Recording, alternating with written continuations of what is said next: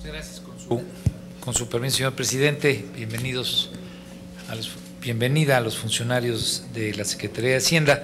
Yo quisiera solamente hacer una pregunta porque son dos preguntas, una general y una particular sobre refrescos.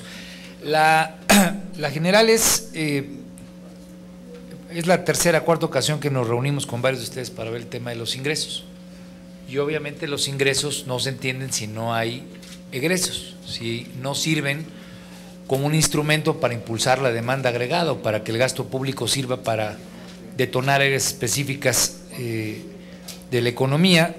Yo ahora que vino el secretario le decía en mi exposición, para el 2013 se aprobó un crecimiento del 3.5, terminamos con 1.8%, en el 2014 3.9, cerramos con 2.7 para este año la cifra que se aprobó fue 3.7 y la expectativa oscila alrededor del, 2%. 2.4 me van a decir ustedes, pero 2%, 2.4.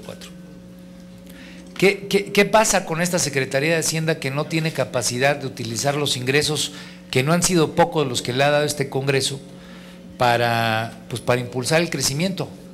Y y sí les pediría que no me den una respuesta de que el mercado internacional ha sido muy volátil, porque ha sido volátil en los últimos 20 años. Si esa va a ser la respuesta, les pediría entonces que me dijeran que la política fiscal en este país simplemente no sirve y que dependemos del, mercado y del contexto internacional, punto.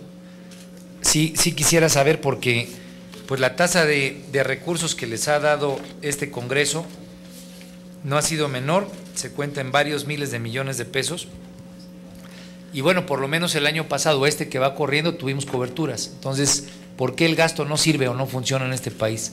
Es por ineficiencia, es por ataduras, es por dinámicas inerciales, es por corrupción, como dice el World Economic Forum, que por lo menos deja una hipótesis ahí.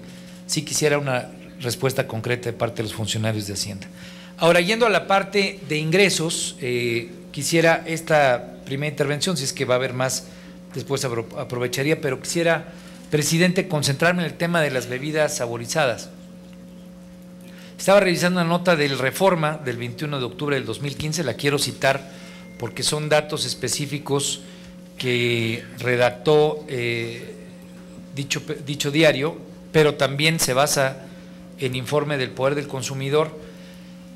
Yo he escuchado de ustedes que la argumentación que acompañaron los diputados para querer bajar este impuesto a los 5 gramos de azúcar es supuestamente para hacer una reconversión o para buscar una sustitución en las fórmulas. Aquellos refrescos que tienen más de 5 gramos tendrían a partir de estos 50 centavos un incentivo para transformar fórmulas. Bueno, esa es la explicación que yo he escuchado. Cuando cito este artículo, eh, les voy a decir, no quiero hacer promoción de estas bebidas, pero por eso estoy citando la fuente. Las bebidas que hoy tienen menos de un gramo por cada 100 mililitros son de esta eh, lista que sacó el Reforma, jugos a mí, que tiene un gramo de azúcar por cada 100 mililitros, los frutsis, el Jumex Pau Pau, E Purita, Nestlé Agüitas, Bonafón Kids. Uno, un gramo de azúcar, 1.8, 2.0 y 2.4. Es decir, son precisamente las bebidas enfocadas a los niños las que hoy tienen menos de 5 gramos. Sí me parece importante destacar que no es cierto que haya específica o exclusivamente un efecto sustitución. Entiendo la argumentación técnica, pero hay que identificar que la realidad del mercado hoy tiene a las bebidas que claramente están destinadas a los niños que están en esa condición de menos de un gramo por cada 100 mililitros. Y quiero poner esto en el contexto por una razón. Hace dos años y medio, cuando hicimos la discusión sobre este impuesto, cuando algunos de nosotros, como el senador Mario Delgado, un servidor y otros, empujáramos que fuera de dos pesos por litro, varias de, las, eh, de los detalles que tuvimos en este debate, y me cuento entre los que empujaron mucho este, creo que lo puedo decir con, con capacidad suficiente para decir, empujamos que estuviera este impuesto, decíamos, no conocemos la elasticidad, no sabemos cómo va a estar, digamos, el mercado. Hoy tenemos a la Secretaría de Hacienda, y es donde yo quiero decir mis preguntas, ya con una evidencia no tan robusta, pero por lo menos de dos años, en evidencia de cuál es el efecto sustitución en términos de consumo de bebidas saborizadas por otras como agua potable. Tenemos una identificación real de cuál fue el potencial recaudatorio. Tercero, deberíamos de tener, y es la pregunta o es de las cosas que yo quisiera saber, es capacidad de saber cuál fue, digamos, el universo de atención, eh, especialmente respecto a bebederos y otros instrumentos para, para consumo de agua potable en escuelas, que fue parte de los compromisos que quedaron eh, suscritos durante el debate de la reforma fiscal. Entonces, si quisiéramos saber, hubo una masa presupuestal, por lo menos, y tal vez escuchar cuál es la que se tiene proyectada para este año, de alrededor de 20 mil millones de pesos. No es poquito dinero, es más dinero que el que se gasta en el Procampo, o lo que fue el Procampo. Es un billetononón.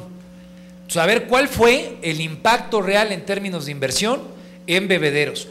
Si no hubo el 100%, saber por qué no lo hubo. Es decir, la Secretaría de Hacienda tiene capacidades recaudatorias, pero específicamente en los IEPS debe de tener alguna suerte de sistema de seguimiento para la búsqueda que a final de cuentas tiene el IEPS, que es, en este caso, desinhibir consumo y generar un proceso de transformación en la cultura de consumo y en otros patrones de, eh, pues, consumo, eh, eh, de ingesta, en este caso, ingesta calórica. Entonces, las tres cuestiones son, una, la capacidad recaudatoria que se proyecta para el 2015, cuál fue el efecto sustitución visto en el mercado, tercero, por qué o hasta dónde llegó el tema del gasto público en materia de bebederos, las consideraciones de por qué se llegó a tal meta, y tercero, ¿qué opinan de que las bebidas que van a tener este beneficio sean las bebidas que están destinados a los niños, que es donde inicia el proceso, y aquí lo pregunté a gente del Instituto de Salud, el proceso de habituación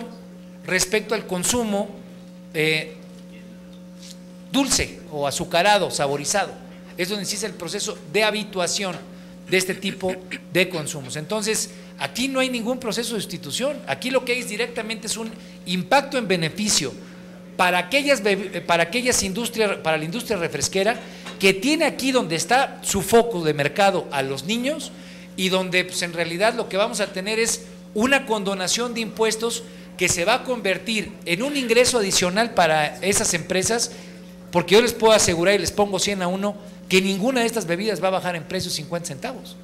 Ninguna.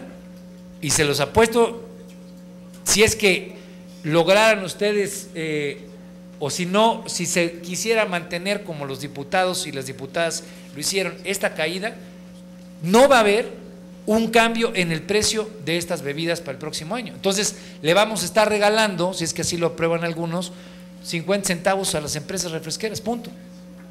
Porque ni va a ser en beneficio de la política pública de salud, ni va a haber una caída en el precio en beneficio del consumidor, ni va a haber un efecto de sustitución en cuanto a la cultura de alimentación.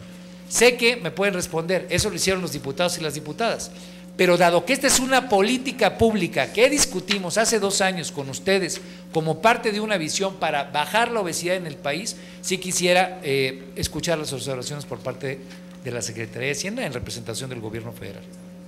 Muchas gracias. Muchas gracias.